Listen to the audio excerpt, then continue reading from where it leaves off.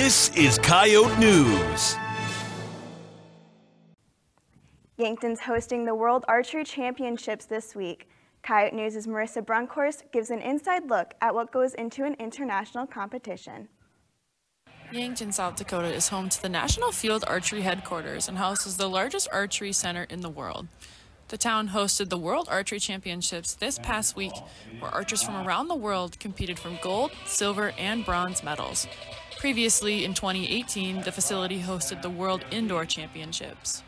Archers and fans gathered to watch the men's and women's compound finals, Archer Mathias Fullerton of Denmark finished just shy of bronze in a shootout against Estonian Robin Jäätma.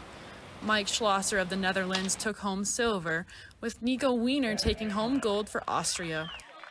The wind was blowing up to 15 miles per hour, raising the stakes higher for archers in this competition. The World Archery Competition here in Yankton, South Dakota is featuring a variety of presentations and events showing off South Dakota's culture. Marketing and Communications Director for the association, Casey Haberman, told Coyote News about the inspiration for the event. We created a festival surrounding the park. 10, 10, 10. kind of for two purposes. One, um, to entertain the athletes and the folks that are here for the actual tournament um, and provide a glimpse into the culture and history of our area and our region um, but then also to create a festival that will bring the community down to the park so that they come and check out all the archery and everything down here.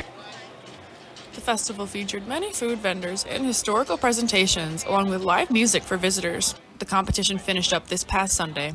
For Coyote News, I'm Marissa Brunkhorst. Thanks, Marissa. This was the first time the competition was held in the United States in 52 years, when the Valley Forge Championships took place in 1969. The Archery World Cup is currently taking place in Yankton today and tomorrow.